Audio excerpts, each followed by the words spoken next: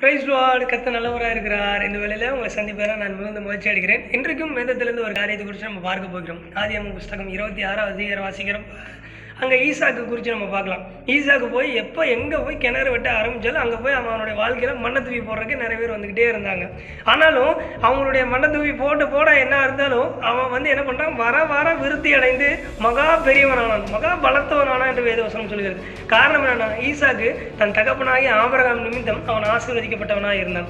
அவன் எங்கே போனாலும் யார் எத்தனை பேர் பொறாமை கொண்டிருந்தாலும் அவன் விருத்தி அடைந்து கொண்டே இருந்தான் இதை பார்த்து கொண்டு இருக்கிற உங்களுடைய வாழ்க்கையில் நீங்கள் வளர முடியாமல் இருக்கிறாங்களே. என்னை சுற்றி இருக்கவங்களாம் என் மேலே பொறாமை கொள்கிறாங்களே என்னை வந்து கீழே தள்ளணுன்னே பார்க்குறாங்களே என்னுடைய வாழ்க்கையில் மண்ணலி போகணுன்னே பார்க்குறாங்களே நீங்கள் நினச்சி கொண்டு இருக்கலாம் ஆண்டவர் உங்கள்கிட்ட தான் பேசி கொண்டு இருக்கிறான் ஈசாக்கு எப்படி அவன் தகப்பனாகி ஆபரகம் நிமித்தம் ஆசீர்வதிக்கப்பட்டானோ இன்றைக்கும் நம் தகப்பனாகிய கிறிஸ்து இயேசு நிமித்தமாக நாம் ஆசீர்வதிக்கப்படுகிறோம். ஆமென். விசுவாசியங்கள் அவருடைய நாமத்தின் நிமித்தமாக நாம் ஆசீர்வதிக்கப்படுவோம்.